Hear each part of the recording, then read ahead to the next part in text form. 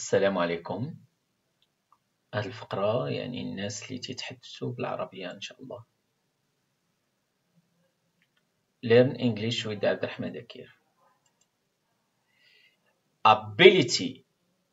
Ability power and skill to do something.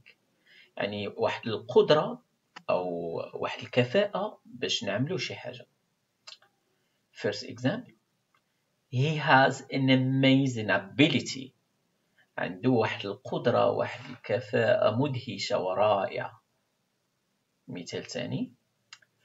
I want to improve my ability in listening. أنا بغيت نحسن القدرة ديالي والكفاءة ديالي في السمع مثال ثالث. I need to improve my ability to speak. أنا بغيت نحسن القدرة ديالي في الكلام والمحادثة. شكرا والسلام عليكم.